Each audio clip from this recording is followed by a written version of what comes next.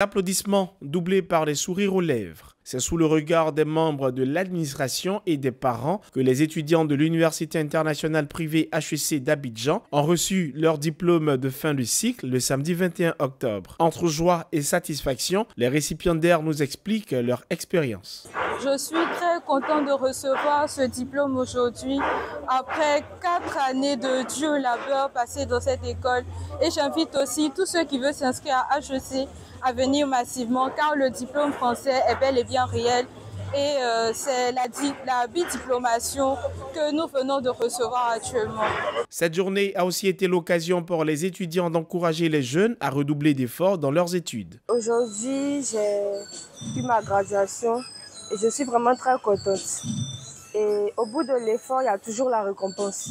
Et moi, je vous incite vivement à venir vous inscrire à HEC Business School pour pouvoir avoir un diplôme européen et également un diplôme national. Cette cérémonie est aussi l'occasion pour l'administration de féliciter et reconnaître le savoir-faire des étudiants durant tout leur parcours. Je voudrais d'abord féliciter tous nos étudiants sortants euh, venant d'obtenir leur diplôme en bachelor européen et en master européen.